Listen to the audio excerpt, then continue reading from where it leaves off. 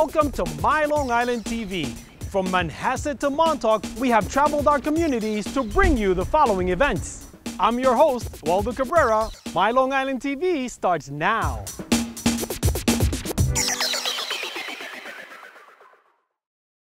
We're first going to offer for sale these assets in bulk and then individually, whichever way is deemed most beneficial to the estate is how the assets will be sold. We're in Central Islip, where a well-known auction house has taken up residence. Well, the name of our firm is Maltz Auctions. We've been in business for a little over 35 years. My father founded the firm with a specialization in debt-related sales. Um, my main area of growth and expansion has been on the non-distressed, non-debt related side. Um, so that ranges from private real estate owners to public administrators to estate executors to uh, charities and foundations. Anyone and everyone who is looking for a quick and efficient way to maximize the selling price of whatever asset they have. $200, $300 bit, 3 the bit, $300 and half, $300, $400 absentee bit, 5 on the floor bit. And what was on sale today? So the primary auction today was for uh, United States Bankruptcy Trustee. Uh, we were selling it on behalf of him for the bankruptcy court. Uh, consisted of roughly 15 uh, photographs and pictures. In addition, today marks the start of a new charitable program. It's designed to help nonprofits deal with donated art and collectible merchandise. We saw a need speaking to several different organizations that once they receive those, these donations, they don't necessarily have a cost-effective and efficient way to liquidate those assets, you know, to assist in the fundraising efforts.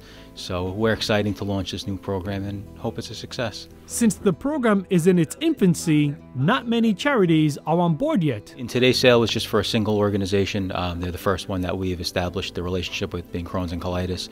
Um, and we hope to roll out with additional charities and organizations over the next few months. For nonprofits, the selling process is easy. Maltz Auctions handles the listing of the item, the marketing, collecting payment, and sales tax, which is probably the reason why they have such high sell through. 96% of what we put, put up for auction sells, uh, which is very unique in the auction industry. You know, we understand people spend a lot of time and money um, doing their due diligence prior to participating in an auction.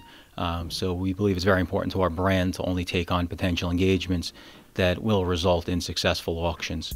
And also adding to the success of their auctions is the internet. I have a $300 bid online. I have a $300 bid, 400 online, 500 absentee, 6 on the floor. Over the past few years, we've gradually um, started to entertain online bids and absentee bids and phone bids because we've seen an increased demand in a global environment, in a global bidding environment.